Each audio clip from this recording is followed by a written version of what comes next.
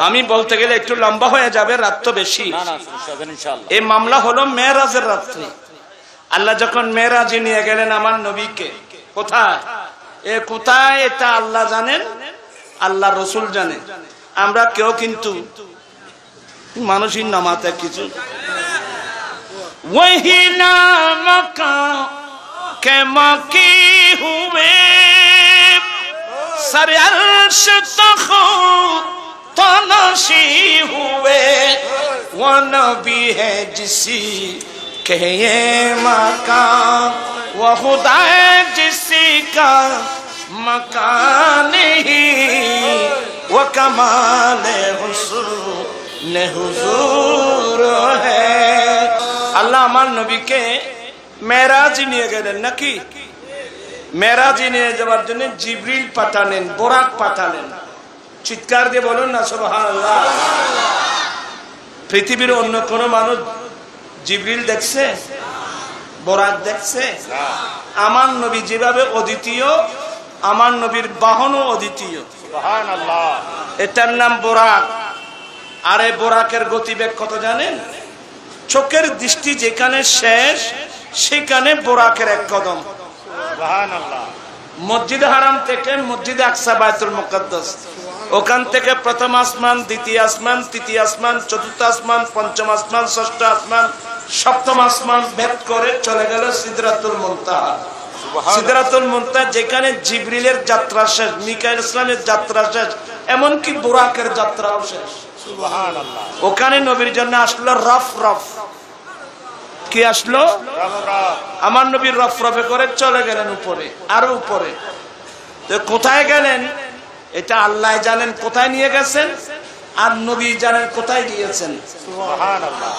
জিবিরিল রহে বুরাকত কে রফ রবি আগে জানা সকে। জিবিরিল রহে पुरातों के रफ रबी आगे सके। रबी उदनू मिन्नी हबीबी कहे, तेरे कुर्ब खुदा का क्या कहना? आई अहमद मुरसल नूरे खुदा तेरी रात सफ़ा का क्या कहना पढ़ते हैं मलायक सल्ले आला तेरी शान उड़ा का क्या कहना চিৎকার দিয়ে বলুন না সুবহানাল্লাহ আল্লাহ নবীকে কোথায় নিয়ে গেলেন জবাব দেন বলা কই নেই কোথায় নিয়ে গেলেন এ আল্লাহ জানেন আল্লাহ নবী জানেন। আমার আল্লাহ হজরত আর জায়গায় কি বলছেন জানেন? উঠে জুকসরে দানা কি পর্দে কুই খবর দে, তু ক্যা খবর দে।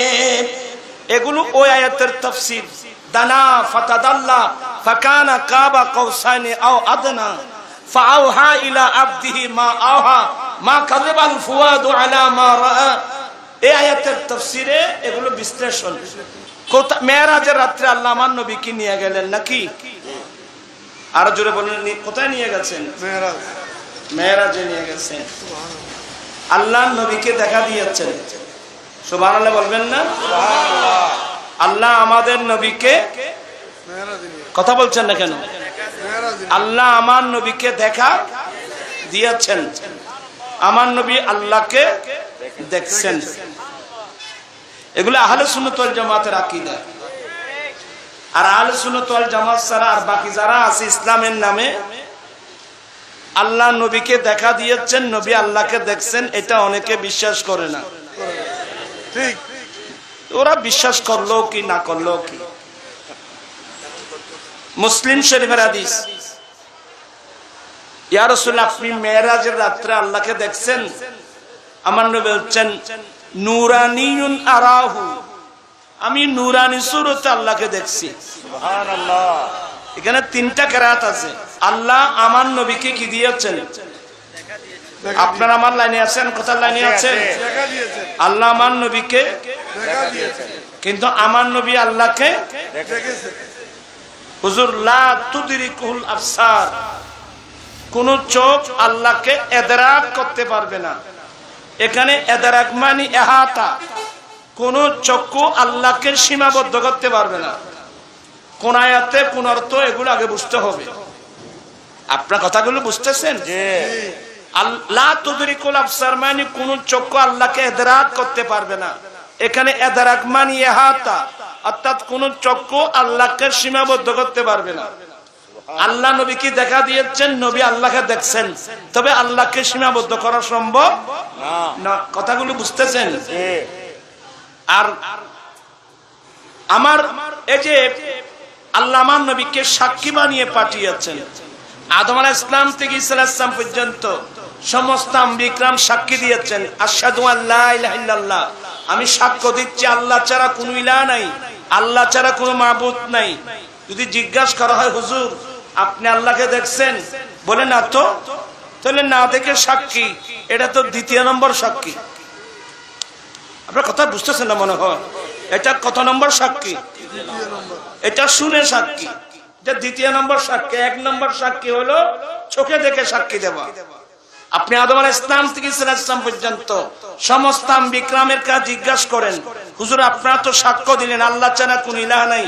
আল্লাহ ছাড়া কোনো মাহবুদ নাই। কি আপনি কি আল্লাহকে দেখছেন? বলেন না, দেখি নাই। আর যখন মুসরা ইসলামের কাছে আসবেন, হুজুর আপনি সাক্ষ্য দিচ্ছেন, আল্লাহ ছাড়া কোন ইলাহা নাই, মাহবুদ নাই। বলে হ্যাঁ। বলে, আল্লাহকে দেখছেন? বলে, আল্লাহকে দেখি নেই। আল্লাহকে দেখার জন্য ফরিয়াদ করেছিলাম। রাব্বি আরনি আল্লাহ তুমি একটু দয়া করে আমাকে দেখা দাও না।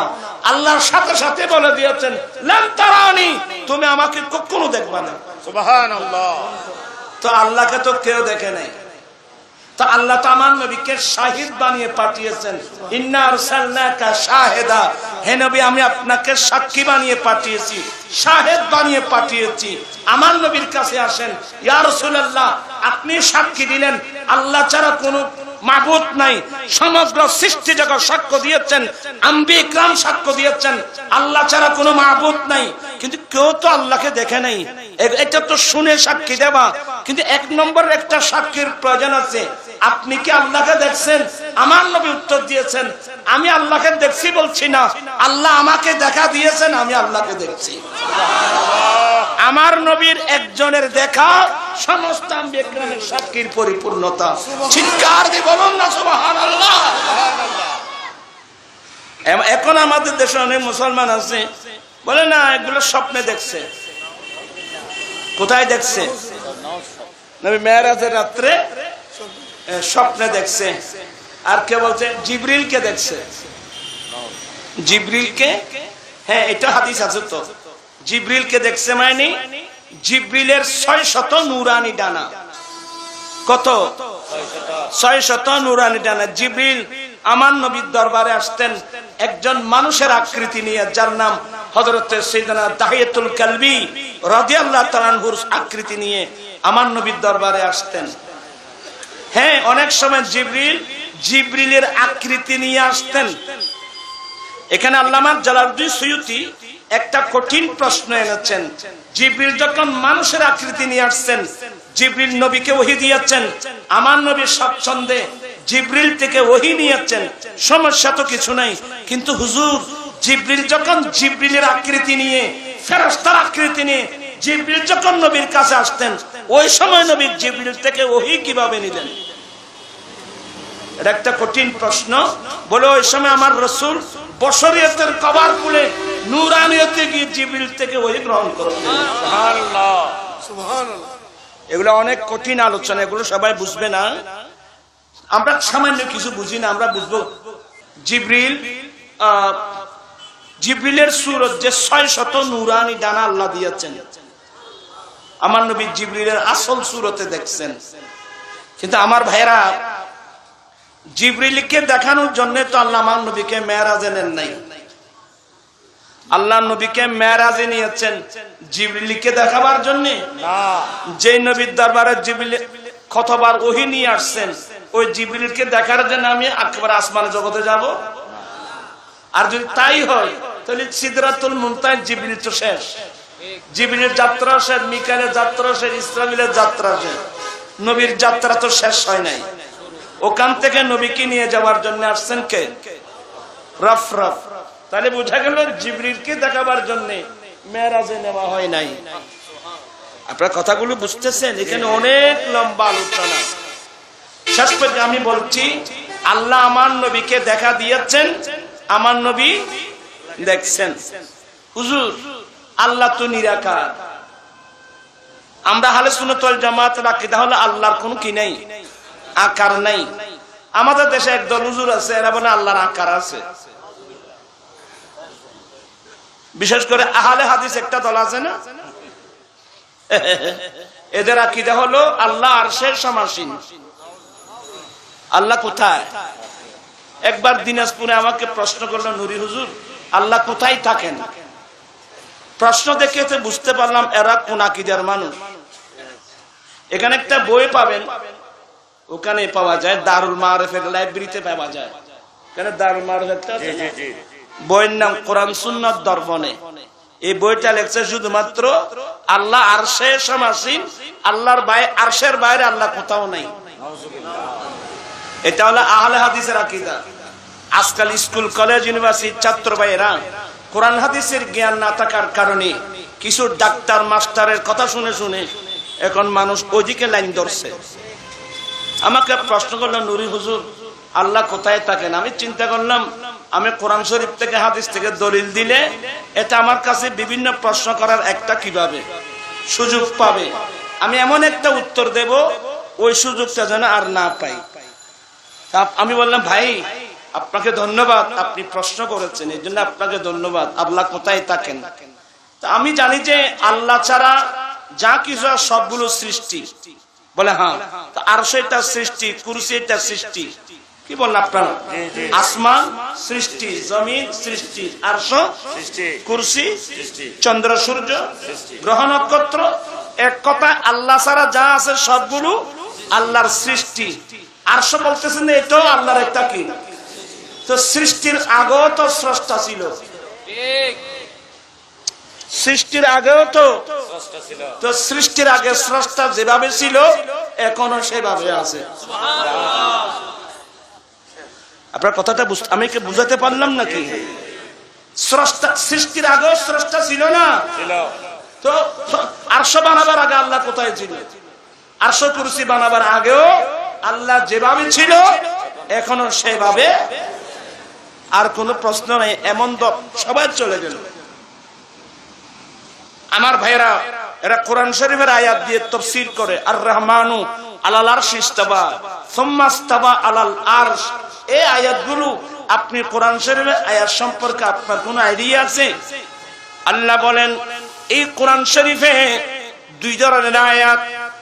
একটা হলো মহকামাত, অপর আয়াতের নাম মুতাশাবিহাত যেগুলো আয়াত মহকামাত ওই সমস্ত আয়াত, যে আয়াতের অর্থ স্পষ্ট। হুন্না উম্মুল কিতাব, এই আয়াতগুলো কিতাবের মূল। দ্বিতীয় নম্বর আয়াত হলো আয়াতে যার অর্থ অস্পষ্ট। অতএব যেগুলো অস্পষ্ট, এগুলো আল্লাহর আয়াত হিসাবে আমরা তেলাবাদ করব। বিশ্বাস করব আল্লাহর কোরআন, কিন্তু এগুলোর পিছনে, অর্থের পিছনে যেতে পারব না। যেমন আলিফ